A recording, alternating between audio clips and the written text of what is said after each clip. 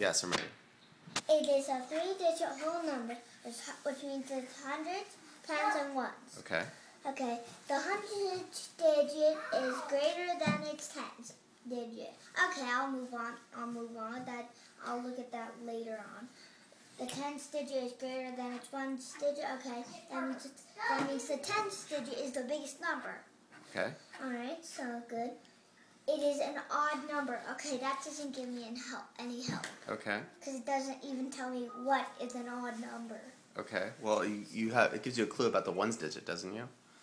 Uh, it doesn't say it's about the ones digit. It says, see, it says it is an uh, one old odd number. Okay, got it. See? Okay. Its tens digit is divided by its ones digit is eight. Okay, that doesn't give me any help. I don't even understand what that says. Okay. It has only one. Wait, the product of two digits is nine. Okay, that doesn't help me. It has only one even di digit. Okay, that. All right, that's one of those. All right.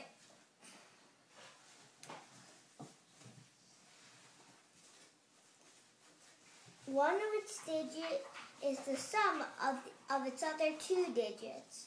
One of its digits is eight. The ones digit is one. Okay, that's one. Alright, that doesn't give me any clues so far. Okay. Wait. You got one of the digits, so let's start now. Go that through. means that is not the even number.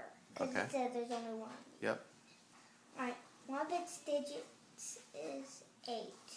Okay, I gotta ha- hundredths digit. Might be eight?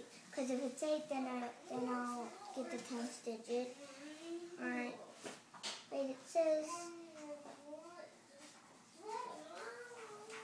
tens divided by ones. Oh, tens divided by ones is eight, which means tens is eight. Then me, and this is a lower number. Wait one second. I have to, I have to, uh, you can stop.